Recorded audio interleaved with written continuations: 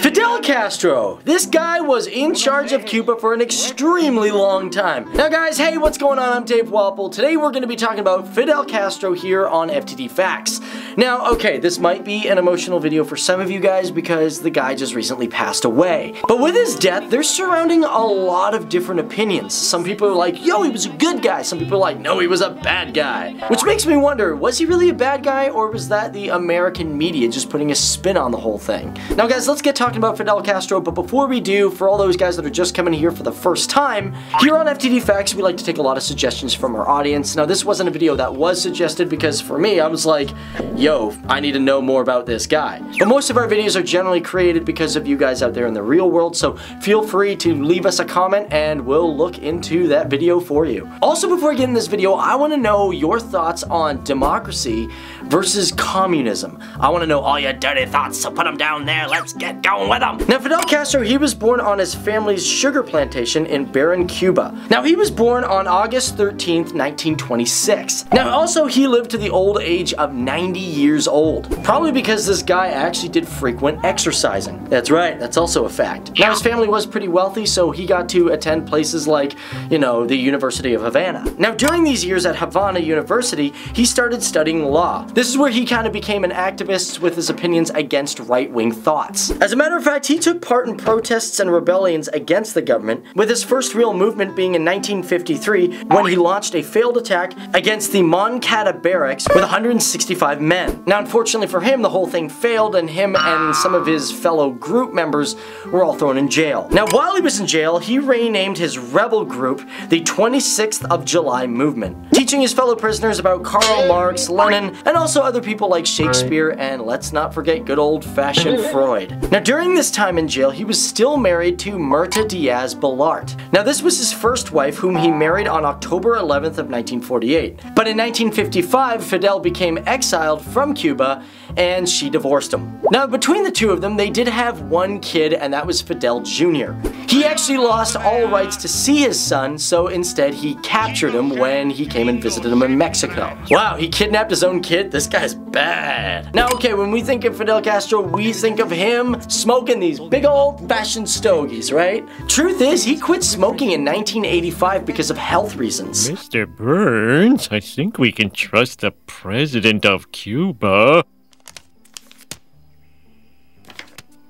Now give it back. Give what back?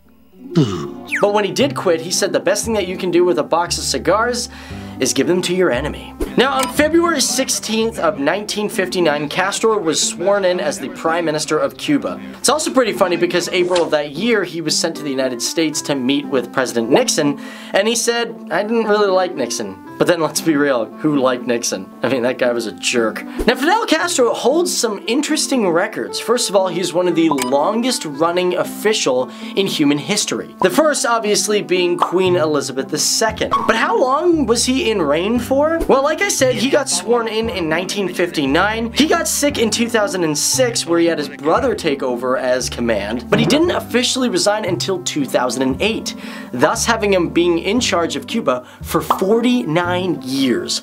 Wow. Now he also has the record for the longest speech ever at the United Nations. This guy was notorious for giving long speeches. As a matter of fact, you could fall asleep and wake up and have a good 8 hours rest. Okay, not exactly, but you get my point. On September 29th of 1960, it was recorded that his speech was 4 hours and 29 minutes. Gosh darn it, that's long. But that isn't even the longest one that he has ever had. As a matter of fact, he had one in Cuba in 1986 that was 7 hours and 10 minutes. How do you talk for 7 hours?